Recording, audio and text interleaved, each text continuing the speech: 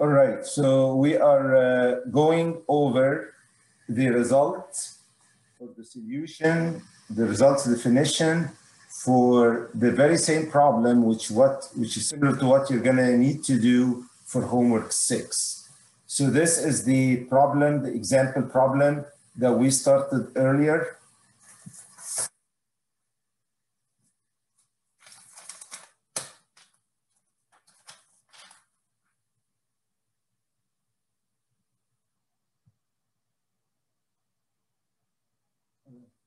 So this is the problem that uh, the example problem I'm referring to here, where we had AB and BC subject to one kip and it's fixed at A and we have a displacement of 0.002 inches at C. And we were looking to find the axial forces, the stresses in AB and in BC, as well as the support reaction in A, support reaction in C, and the displacement at B. So you would see here, this is uh, set along the same lines as homework number six. So I'm gonna go back to my uh, ANSYS model that we did and we ran the analysis on this. And the very first thing I like to look at is the total deformation. We looked at the total deformation and it looks like our part was doing what we expected. There is this uh, push force to the right at point B that is moving BC to hit the wall and get compressed. And then it's also elongating or stretching the member AB. This is uh, better also seen by using the axial forces. And in order to define axial forces under solution A6, this is where I define my results to look at them. So if you go to solution A6 here, I looked, I went to the beam tool and I picked axial force. I can also do a bending moment, which we know this part should not have any bending moment. But just out of experimenting, let's pick bending moment. Let's also pick a torsional moment. We don't have any torsional moment. And let's also add a shear force. So these are new definitions for results. We don't need them. I'm just doing it here because we're gonna need that when we move on for others. And I'm trying to show you how to use the beam tool. Uh, later today, I'm also gonna show you how to use shear and moment diagram, how to let ANSYS sketch your shear and moment diagram. So axial force gives me the normal, the internal force in AB and in BC. Clearly all AB, which is a two force member, should have the same internal force, is in tension, and it's all in red, having maximum tension of 555.47. BC is all in the dark blue and is in compression. And you see here the maximum compression is minus 444.53.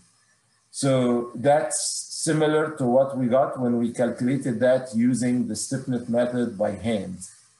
I also want to show you that while we are looking at uh, results, I can use this uh, probe feature and go anywhere and click, and this will display the value on the fringe plot, on this colorful plot. And you can see consistently anywhere along AB, I'm getting an axial force of 555.47. Likewise, on BC, I'm getting this minus 444.53. So this is one thing. Next, how do we find uh, while I'm at this, let me solve to show you that the bending moment, torsional moment, shear moment, all should be almost zero. I should have none of these. So if I click solve, I get here, I can look at total moments, total bending moment, and you see throughout AB and BC is zero. Torsional moment is also zero. The shear force is also zero. In order to look at the reactions as well as displacement at a specific point, as if I'm running an experiment in the lab, I would use the probe feature. So if you go to probe, you get to define a deformation, like a displacement, I also can look at a force reaction and a moment reaction.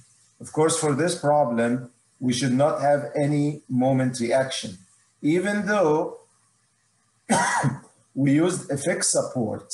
If I define a probe to look at the moment reaction, I can come here and say a moment reaction because I do have a fixed support. And I pick the fixed support and I solve for a moment reaction. So I use probe, moment reaction, and let's solve for this moment reaction. So when I solve for my moment reaction, let's look at this. I look here at the details of the moment reaction. I get perfect zero. We should not have any moment reaction, even though we are using the fixed support. And we do need to use a fixed support because otherwise we're gonna have rigid body motions and we are running a static structure analysis where we should have enough constraint to prevent uh, constraints to prevent rigid body motions. Uh, the others that we are going to be using here uh, under uh, probe, I'm going to be using a force reaction, which is what I defined. And when I define a force reaction, excuse me, when I define a force reaction, you can see here, uh, by default, it goes to boundary condition. And this goes to the boundary conditions I defined. So I did put a fixed support. So this fixed support would give me the support reaction at A. Uh, if you have more than one fixed support, it's going to show fixed support one, fixed support two, and you should see which one you're referring to. So here, if I pick the fixed support, it is showing that the fixed support is at A. Uh, next, if I go like probe and go like uh, force reaction, and now I want to find it at C.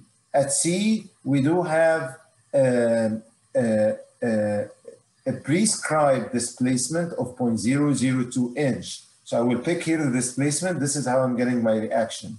So this here it says reaction, uh, force reaction 4.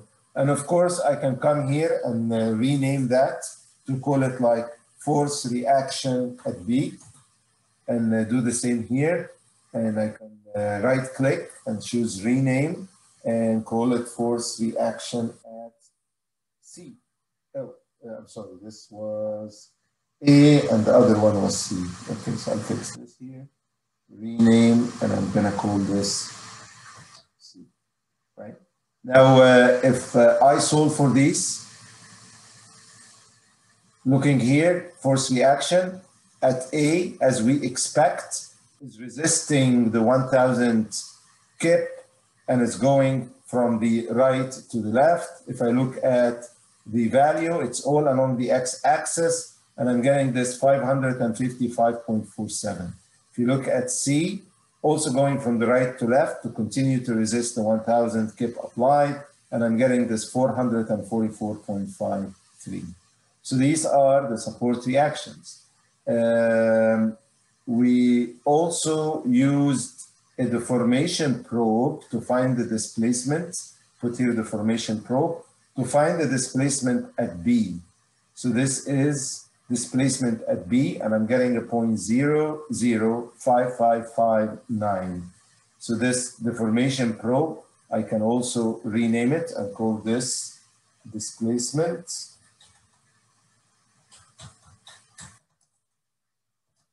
At B. So this kind of give us the what we got right here. We have the axial force we have the total displacement at B, we have the force reaction at A, and we have the force reaction at C.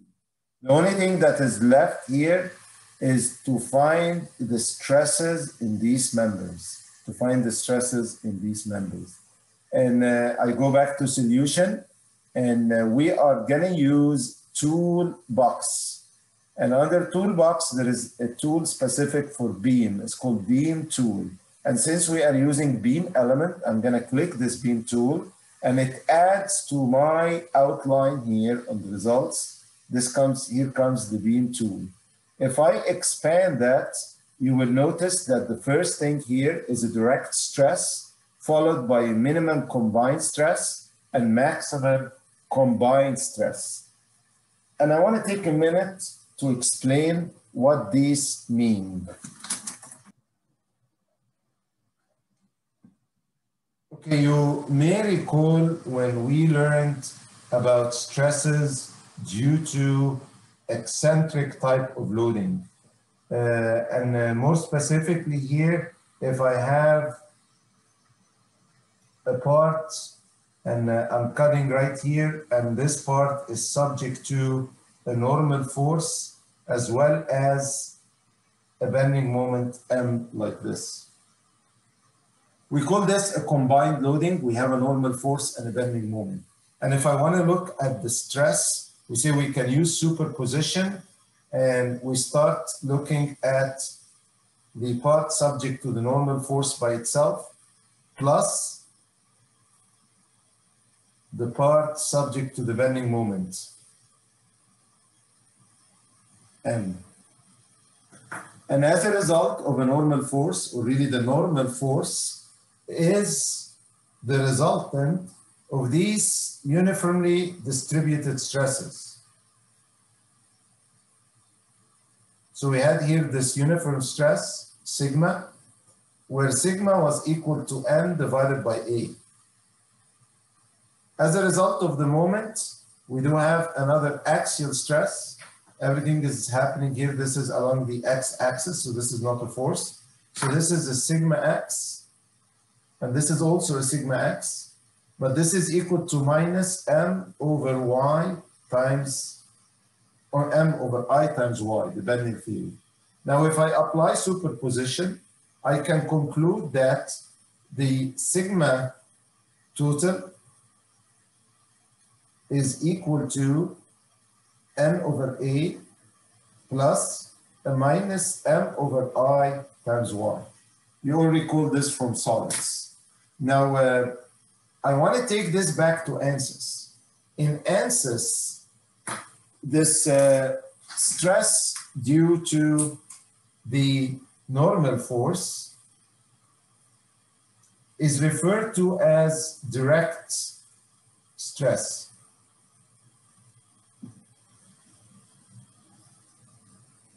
The sigma total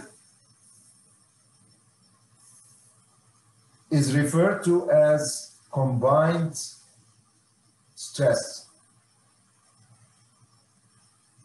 And this bending axial stress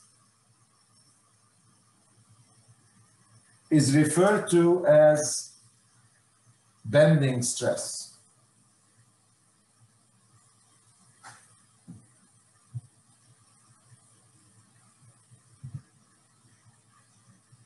We look here under uh, beam tool, if I go right click on it and go insert beam tool, stress, you see here I can also add a maximum bending and I can also add a minimum bending stress. So these are the five different type of stresses I can be looking at. And of course, I'm going to tell you what's the difference between maximum and minimum. So if I go back here, this uh, sigma x is the bending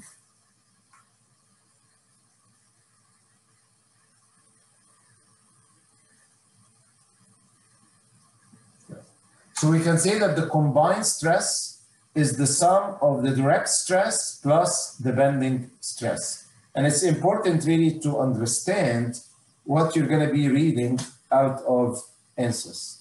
So let's go back to ANSYS. And uh, in uh, this case here, for this problem,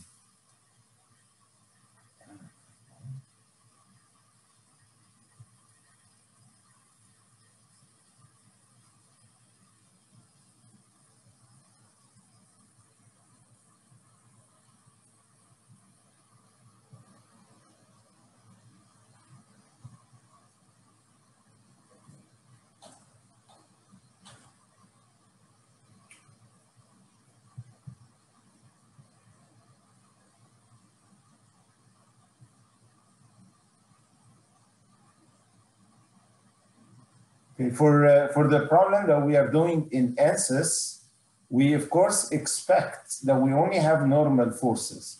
So if I look at my stresses, and this is also true for your homework six, we are only gonna see direct stresses. I expect the bending stress to be zero because I don't have any bending moments. And if the bending stress is zero, then my combined stress is going to be the same as the direct stress. I do not get any contribution from this bending stress component. So let's look here and start looking now as we understand the meaning of these direct stress, maximum combined stress, and maximum bending stress. By the way, there is a minimum and there is a maximum because as uh, you recall,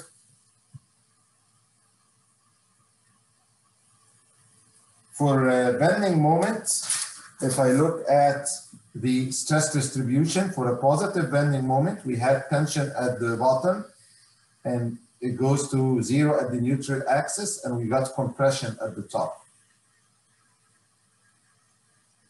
So in a way, there is a max, there is a sigma max tension, and there is a sigma min or compression at the top.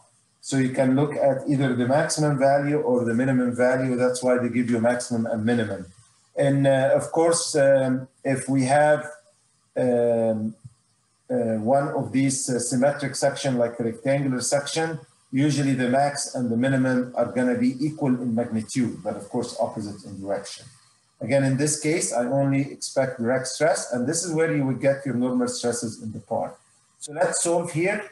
So if I go like so and look at direct stress, you look here, the first one, we had a 555.9 kip divided by a 0.1 square inch of an area. Indeed, I get 5,559 PSI positive as my normal or direct stress in AB. So if I want to report the stress in AB, even if I come and use my probe, check anywhere, the stress will be the same in AB. It's a two-force member. And if you look at BC, it's all in negative blue. And if I look here, I'm getting compression of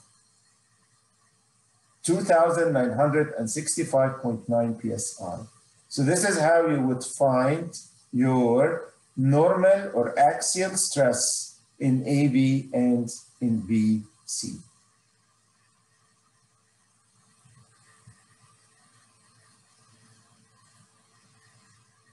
Does uh, that answer the question in regards to homework six?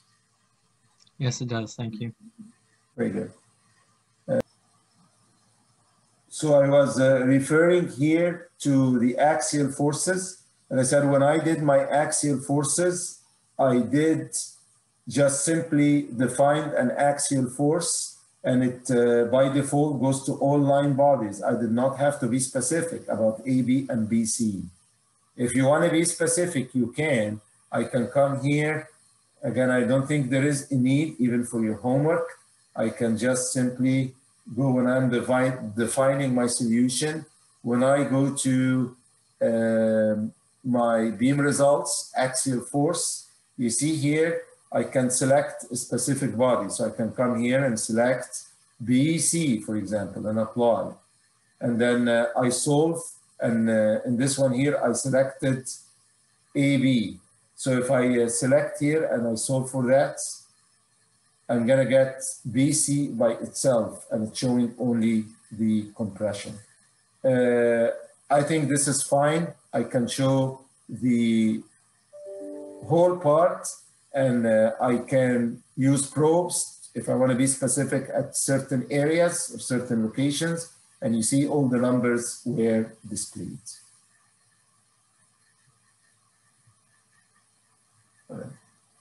Any more questions on that? Do you think this answers? I think this should answer everything regarding homework number six. But if you still have uh, other questions, I'll be happy to take them before we move on.